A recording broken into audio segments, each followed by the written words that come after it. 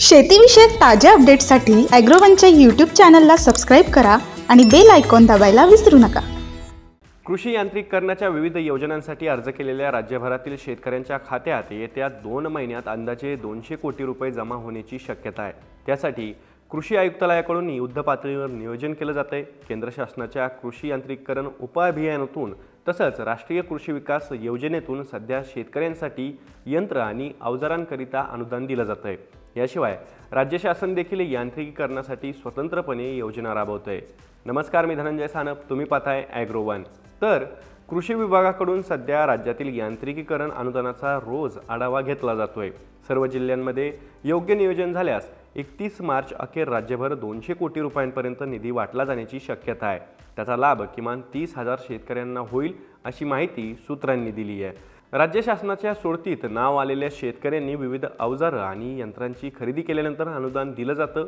अनुदान देण्यासाठी एकशे एकवीस कोटी रुपये मागील तीन आठवड्यात उपलब्ध करून देण्यात आले आहेत. त्यातील एकशे एक कोटी रुपये शेतकऱ्यांच्या बँक खात्यात जमा करण्यात आले आहेत. यात कृषी यांत्रिकीकरण उपअभियानातील बावन्न कोटी रुपये राष्ट्रीय कृषी विकास योजनेतील बेचाळीस पूर्णांक चौऱ्याऐंशी कोटी तसंच राज्य शासनाच्या यांत्रिकीकरण योजनेतील सत्तावीस कोटी रुपयांचा समावेश आहे. यांत्रिकीकरणातील योजनांमध्ये सहभागी झालेल्या शेतकऱ्यांकरिता केंद्र आणि राज्य शासनाने यंदा आत्तापर्यंत चारशे अठ्ठ्याण्णव कोटी रुपयांचा निधी उपलब्ध करून दिला आहे. त्यापैकी चारशे एकवीस कोटी रुपये शेतकऱ्यांच्या खात्यात वर्ग झालेले आहेत. कृषी विभागाच्या इतर कोणत्याही योजनांपेक्षा सध्या यांत्रिकीकरणाच्या योजनांची घोडदौड वेगानं सुरू आहे.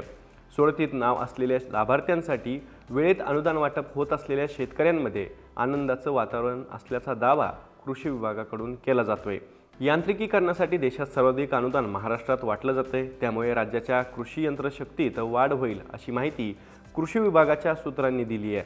दोन हजार एकोणीसमधील सर्वेक्षणानुसार राज्याच्या यंत्रशक्तीचं प्रमाण एक पूर्णांक चारशे एकोणपन्नास किलोवॅट प्रति हेक्टर होतं. अद्याप नवं सर्वेक्षण झालेलं नाही परंतु दोन हजार चोवीस अखेर या प्रमाणात भरीव वाढ होण्याची शक्यता आहे असं अधिकाऱ्यांचं म्हणणं आहे. या माहितीसोबत तुर्तास इथेच थांबू.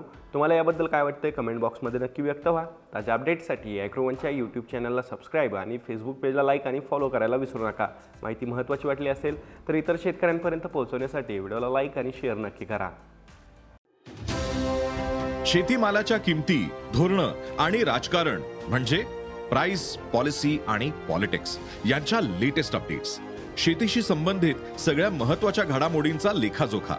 फक्त बातम्या घटना नव्हे तर सखोल विश्लेषण. मार्केट इंटेलिजन्स संशोधन तंत्रज्ञान हवामान नवे प्रयोग शेती सल्ला एका क्लिकवर उपलब्ध. अॅग्रोवन डॉट कॉमला अवश्य भेट द्या.